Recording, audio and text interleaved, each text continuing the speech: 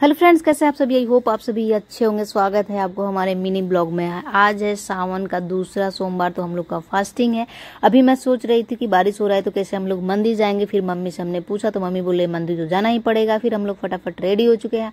और उसके बाद मैं मछली को दाना दे दी। फिर बाहर देखी तो बारिश कंटिन्यू हो ही रहा था। फिर हम लोग सोचे, चलते हैं पैदल छाता लेके, फिर देखते हैं कि क्या होता है। फिर हम लोग भगवान जी का घर में पूजा किए। फिर हम लोग निकल रहे हैं मंदिर के लिए। आप देख सकते हैं, पैदल ही हम लोग निकल रहे हैं, ये हमारा सोसाइटी है। और फिर हम लोग छाता उता लेके जो भी होता है, पूजा का सामान हम लोग निकल चुके हैं।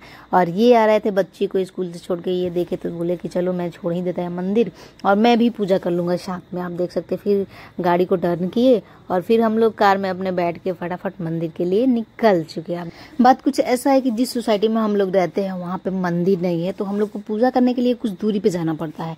तो फ़िलहाल अभी हम लोग मंदिर पहुँच चुके हैं, आप देख सकते हैं। जब भी हम लोग मंदिर जाते हैं तो मम्मी बोलती है, फटाफट पानी लाओ, क्योंकि जो भी शिवलिंग पे जो भी मतलब कचरा, फूल वूल फैला रहता है, उसको हम लोग पहले साफ़ करते हैं, फिर उसके बाद से हम लोग पूजा करते हैं। तो अभी आप देख सकते हैं, मैंने पानी लेके मम्मी को दे दिया फटाफट। मम्मी सफ़ाई की वहाँ पे, जो भी चीज़ें था, उसको सफ़ाई की। फिर हम लोग पूजा किए, हमारे हस्बैंड भी पहुँच चुके थे पूजा करने के लिए, वो भी पूजा किए, हम चारों लोग पूजा किए, फिर उसके बाद से हम लोग आ जाते हैं घर।